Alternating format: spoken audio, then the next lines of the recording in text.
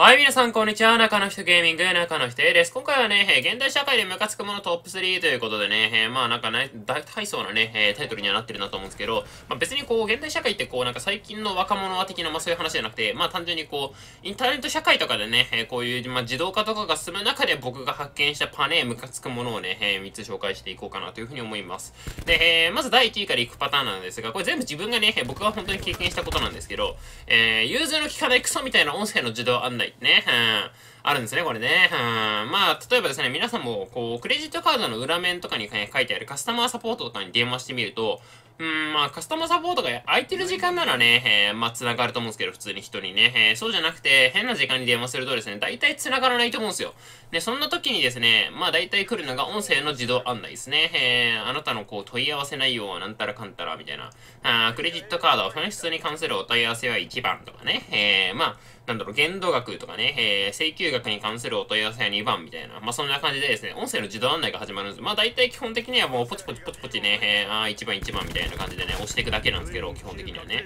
えー、これね、1番とか2番ぐらいはいいんだけど、あのー、クレジットカードの番号自体を押せっていう話になってくるんです、最後ね。うん。クレジットカードの番号16桁とかあんだよ。で、16桁押してもさ、なんか間違ってますとか言われてもさ、えーみたいな、どこ間違ってんの？みたいなね、うん、なるよっていうね、うん、すげえめんどくせえんだよ、そのね、もうどこ間違ってんだよ、みたいな、えー、これ入力合ってる？とかやってるうちにですね、まあ、大体こう、音声の自動案内の時間が終わってですね、どうすんだよってなるんでね、うん、また書けんのこれみたいなね、2回ぐらいやってもうめんどくさくなってやめるみたいなね。いや、もうめんどくせえ、人が出てくれれば俺もクレジットカードの番号言うだけなのに、みたいなね、うん、大丈夫かよ、みたいなね、これ。なんかさ、頼むよ、本当に、みたいなね、感じになるっていうね、うん、不器用さが導き出す、この音声の自動案内とのこう、不適合さね、うん、パないみたいな。もうね、本当に音声の自動案内すげえ嫌いだからね、マジで俺。あの、病院とかの予約もさ、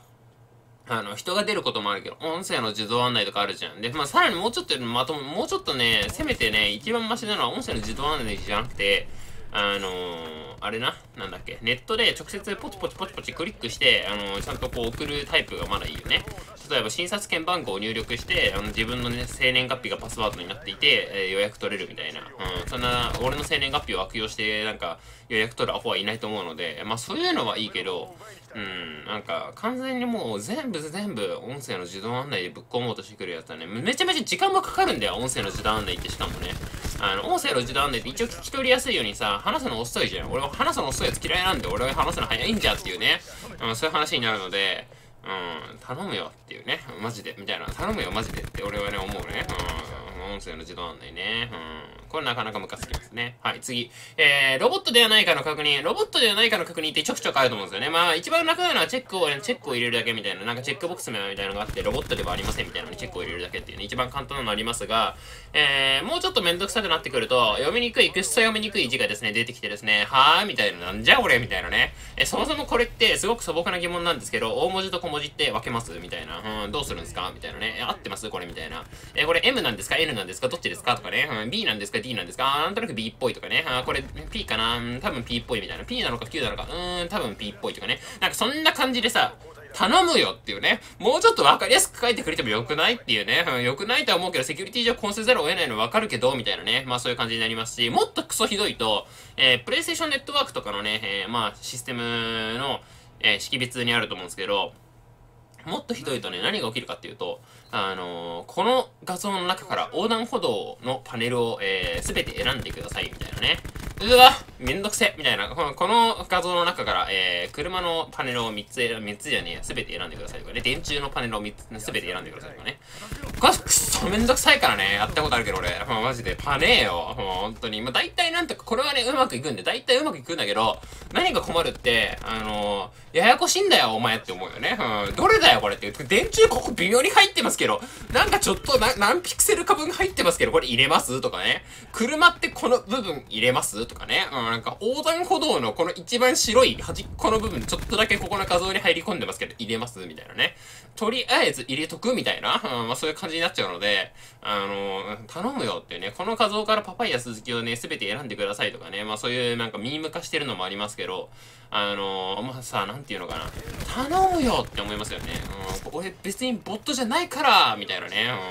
うん。まあ毎回そう思いますが、セキュリティ上こうせざるを得ないっていうね、うん、どうしようもないですね。大体これで弾かれるとめっちゃムカつきません？もうなんか、あのー、頼むぜマジでっていうね。ちなみになんですけど、一番このカスタマーサポート関係の中で一番最強だなと僕が思ってるあのカスタマーサポートは、Google と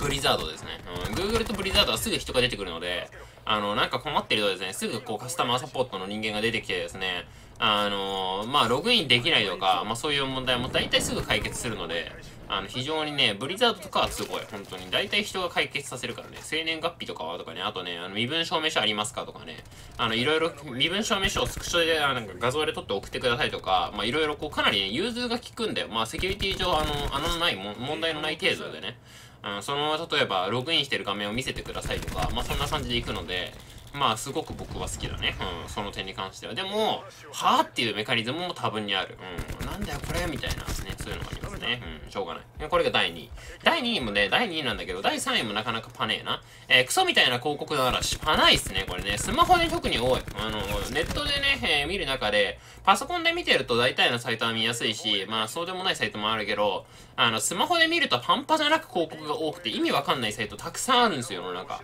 あの、本当にね、これね、ねやめた方がいい、マジでっていうね。僕らも確かに広告収入すごく重要な問題だし、YouTuber にとっても広告は、まあ、切っても切り離せない関係にありますが、まだマシなんだよ、こんなのは。えー、お前らって YouTube だって広告で稼いでんじゃねえかと思う人も多分たくさんいると思うんですけど、これ何がどうマシかっていう話なんですけど、YouTube って基本的に広告を、例えばこの動画大体10分ぐらいになると思うんですけど、あのー、死ぬほど頑張って僕がつけまくっても、大体何喋ってるかわかんなくなることは多分ないんですよ。あ、あのー、さすがにそこまで広告たくさんつけるの大変だし、俺も。えー、そんなつけたくもないし、あのー、なんていうのかな。まあ、つけてもある程度ね、うん、ある程度そうやってたくさんつけても、まあ、わかるんだよ、結局内容はね。やろうと思えば。やろうと思えばたくさんつけて、あのー、なんていうの？まあ動画出しても、内容はわかるんだよ。でももっとスマホのひどいやつだと、マジで、真面目にちゃんと俺が読もうとしても、どれが何の記事なのかとか、記事なのど、本当のその、例えば、なんとか、あの、すべてのゾーンをダッシュする方法とか書いてある記事を読もうと思って、この COD で、BO4 でコントロールにおいてすべての記事をダッシュする方法とかね、あんまり誰もアクセスしなさそうなね、サイトにアクセスしたとして、どれだよみたいな、マジで、もうマジ広告がどれなのかと、関連記事がどれなのかと、その記事の本文がどれなのかがもうわけわかんないみたいなね、まあそういうことになっていて、もはやもう記事読めないみたいなね、うん、まあそういうこと多分にありますからね、うん、全くそういうことを経験したことがないっていう人はですね、まあそうですね。どうやったらこの方法がね、一番簡単にこう経験できるかって話なんですけど、まあ日本語のいかがわしいサイトに、あのまあそうですね、いかがわしいこう単語を並べて、まああんまりコメントとかで言ったらね、あの多分バンされたりでいろいろ怒られると思うんで入れ入れちゃいけないんですけどね、あのあったまあ自動で弾かれると思うけど、まあそれはさておき、まあ日本語で適当にいかがわしい言葉を並べて、あのまあちょっと検索すればですね、すぐ出てきます。もうほんとすぐね、もう半端じゃなくね、こう見にくいサイトがたくさん出てきますからね。もうととりあえずもう上から1個目とか2個目をとりあえず選ぶ。絶対そういう感じのサイトにアクセスさせられてですね。半端ねみたいなね、うん。ちなみにそれでなんかセキュリティホールがなんか、あのセキュリティホールをこう、つか、疲れてこうなんだろう、スパイウェアに感染しましたとか言われても知らないけど、まあね、半端ないから、マジで。もうね、な、んでこうなったんだろうね。マジで。そんな本当謎なんだよね。それ何の意味があるんだってっていうね。もうなんか関連の記事なのか広告なのかもわからない。記事の本文がどこなのかもわからない。記事の本文そもそも探しても見つからないなんてさ、なんていうのかな。うーん、作品というか、まあ、一つの作品というか、まあ、こういう映像作品でもさ、まあ、どんな、なんていうの、文字ベースの作品であれさ、全然こう、何もいいことないと思うんだけどさ、なんでこうなったんだろうね。なんでこうなったんだろうね、マジでね。マジ謎ですね。今のところ大体こう YouTube とかそこまで半端じゃないことにはなってないですし、うん、まあ大体の場合ね、あの、スマホで見るよりもパソコンで見た方がまだマシなんですけど、まあそうは言ってもね、スマホだってこう、切り離せないしね。ウィキとかもそうだよね。あの、攻略ウィキみたいなのありますけど、世の中。攻略ウィキとかも日本語の、日本語じゃねえや、スマホ版のページで見るとすげえわかりにくいっすよね。どこに何書いてあるのみたいなね。まあそういうことになりがちっていうね。うん。なかなかね、謎っすね。現代社会でムカつくもの。なかなかタイトルが派手だからね、ワンチャン変えてもいいかなと思うんですけどね。これインターネット社会でムカつくものでもないんだよね、でもね。だってインターネット社会でムカつくものはロボットではないかの確認でクソみたいな広告だけどさ、融通の効かないクソみたいな音声の自動案内はさ、まあ AI とかオートメーションの話じゃんね。